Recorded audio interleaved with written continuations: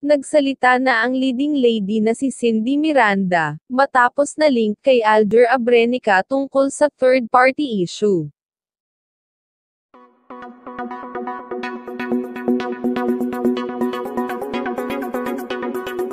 Kamakailan lang, naging bali-balita sa social media ang hiwalayan ng celebrity couple na sina Alger Abrenica at Kylie Padilla.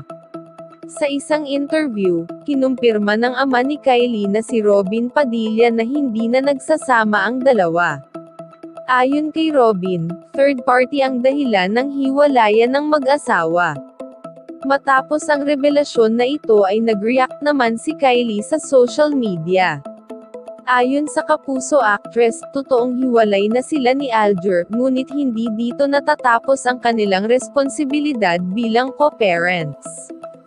Ayon kay Kylie, umaasa siyang sa hinaharap ay may mapupulot silang aral sa naging mapait na karanasang ito. Sa kabila nito, hindi naman binanggit o pinangalanan ni Kylie kung sino ang third party sa kanilang relasyon. At dahil dito, hindi mapigilang maintriga ng mga netizens kung sino nga ba ang third party. May mga fans na agad nag-assume, at nagsabing maaaring si Cindy Miranda ito.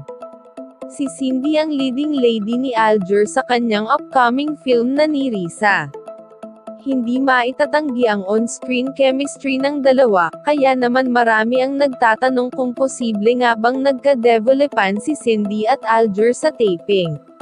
Sinagot naman ito ni Cindy matapos mag-comment ang isang netizen sa kanyang IG post. Sana pure work lang kayo. Huwag ka sanang manira ng pamilya. Agad naman itong sinagot ni Cindy at itinanggi niyang mayroon silang personal relationship ng kanyang co-star. Yes, very professional. I'm not the third party. Thanks. Sa kabilang banda, hanggang ngayon naman ay nananatiling tikom si Alger tungkol sa isyong ito. Ano ang masasabi mo sa kwentong ito?